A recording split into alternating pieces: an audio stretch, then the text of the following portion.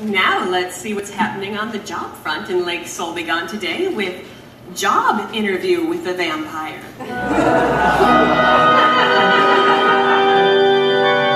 Thank you for listing with Labor Force, the foremost employment service, Mr. Um, N- Nosferatu. Mr. Nosferatu, yes. You seem to have a long list of previous employment, from grave digger to blood donor specialist. Now, what was your last occupation? Uh, vampire. What?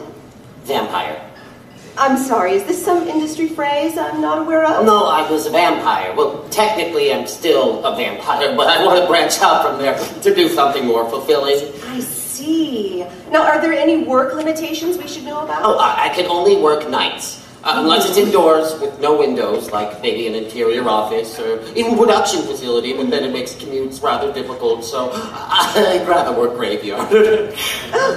Well, what do you feel, feel are your best strengths as an employee? Uh, longevity. I, I really want a job that supplies a 401k. I really like long, long term investments. Well, do you have any references? You mean ones that are alive?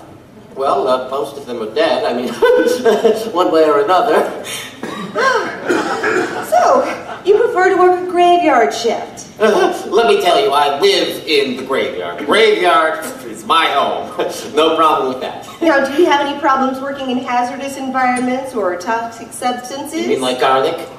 Italian restaurants, that sort of thing?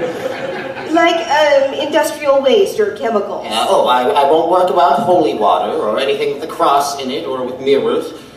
Probably should just say working in a church would be unacceptable, period. Any objection to physical work? No, Tedious repetitive work? no, Requiring manual dexterity? no. Do you work well with children?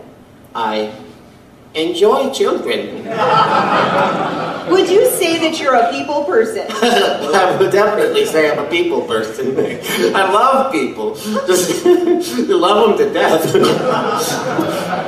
Well, I think we should be able to find something special for you. That's splendid.